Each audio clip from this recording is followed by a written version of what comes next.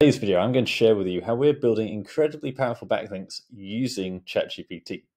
Now, we already had a really good process down in terms of reaching out only to really high quality websites, minimum DR of 30, minimum traffic of 1000, and then going through with a lengthy screening process to make sure every one of those links was actually going to give us power and give us results and not do any damage to our website. So we reject 90% of sites we could build links on because they fail our screening process. So we go through and check is the domain rating actually genuine or are they using artificial inflation tactics and bad links? Uh, where's their traffic coming from and for what keywords are they actually ranking? These are the kind of things which tell you a good site that's actually going to give you more power, authority, and trust in order to rank on Google. However, we can actually go better than that in terms of the, the content that the link is actually placed on. Because one tactic is we can actually find relevant pages which already have some age and power with Google, and insert your link on there with the correct anchor text to the right page on your website. And that already has a lot of benefits.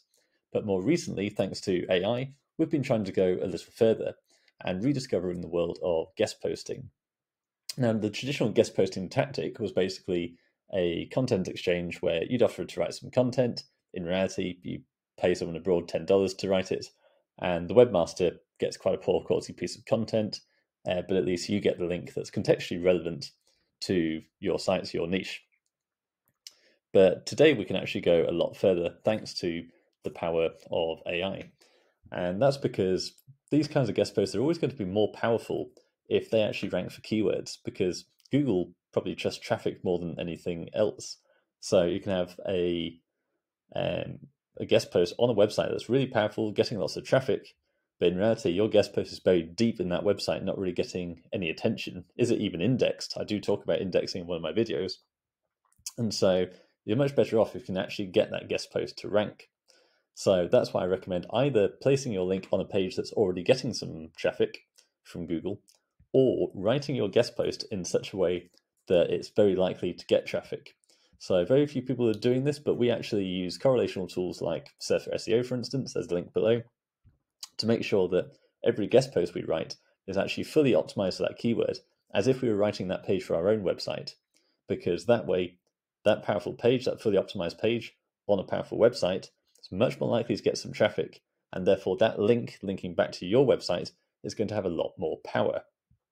But now we go a step further because rather than just a guest blog, imagine if we optimize that and that, that guest blog basically ranks in Google.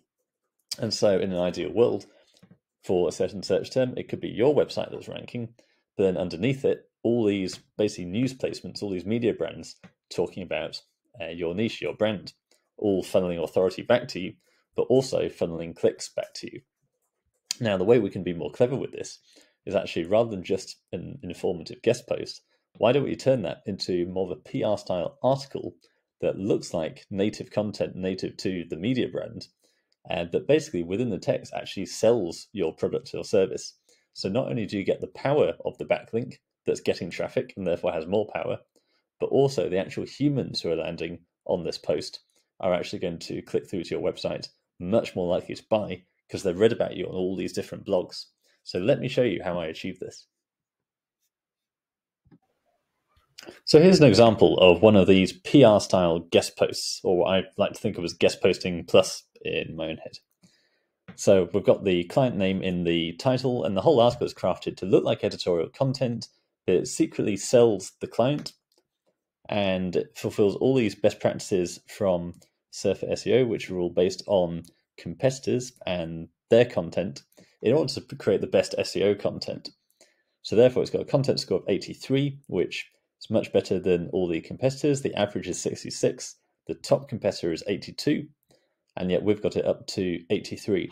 So that means the client is basically getting a guest post on a powerful website that's crafted to look like editorial content by a journalist, praising their brand and linking to them with content that's actually going to rank and therefore get traffic and funnel all that power and authority back to the client. So let me show you how we achieve this. If I just delete all of this, we even had FAQ schema in there. And now we head over to ChatGPT. We want to copy all these recommended terms from the correlational tool. And now within ChatGPT, we basically need to tell ChatGPT uh, who they are. So you are a PR expert. As a journalist, write a PR piece to be published on authoritative news website.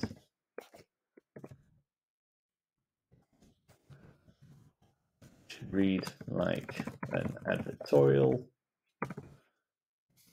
high quality editorial content that's subtly recommending our client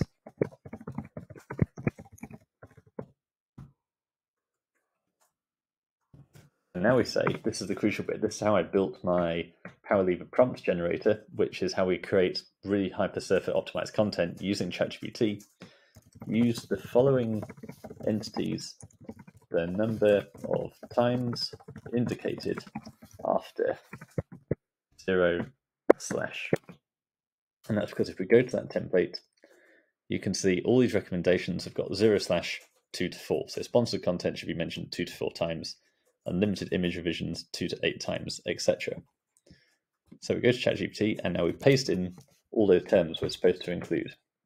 So we've said you're a PR expert. As a journalist, write a PR piece to be published on an authoritative news website.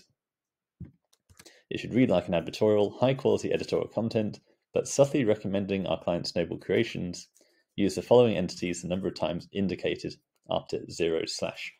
So this is basically following the same process we use to craft SEO content using Surfer, but just adding in this PR editorial edge so it reads like at this wherever we got the placement on this high quality media brand, it reads like one of their in house team, a journalist, has actually written it. So to humans and indeed to Google, it looks more trustworthy than just a sales piece going on about how great they are.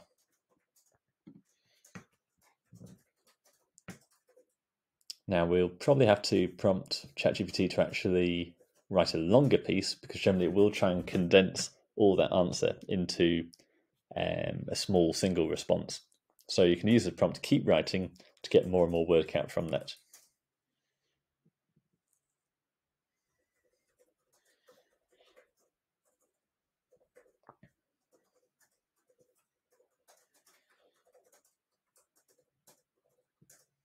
While that's working, we also want to go back to Surfer, go to Outline, and get all the topics and questions. In other words, just these FAQs, because that also has a big impact on the content score. So it's trying to respond in just one response as it normally does. Let's have a look at the word count we require. Two and a half thousand to 3,000 words ish. So we can actually go a lot longer. Uh, that's not too important for content score. So expand the above. And then we'll paste in the FAQs as well.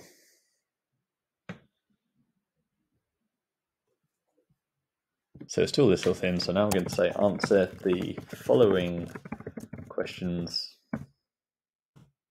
in long form. Now let's just give it two questions so it actually takes up some more word count.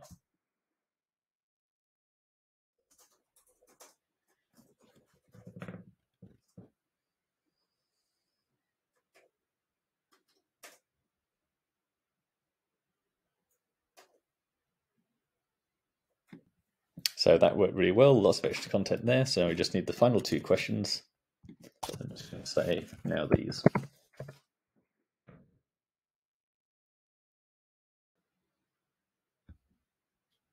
So now that's done, we now copy all this content into Surfer.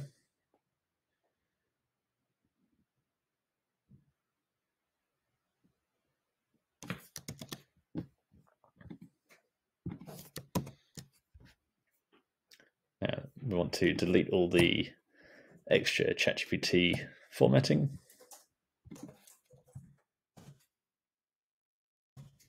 And the prompts I gave it.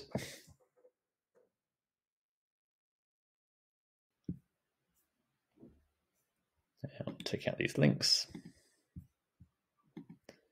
And then we want to fix the formatting, so turn everything to H2s and H1 obviously. So already has a content score of 40. The average to beat is 66. The headings will fix that a lot. Now, while I'm doing that, I'm going to use this insert terms feature. That's really powerful. And that's where Surf will go in and try and add in as many of these as it can. So we've basically got two layers of that. Both we prompted ChatGPT to try and use those terms, but now Surf is going to try and add in loads more. So I just do accept, accept, accept. So now we're up to 56.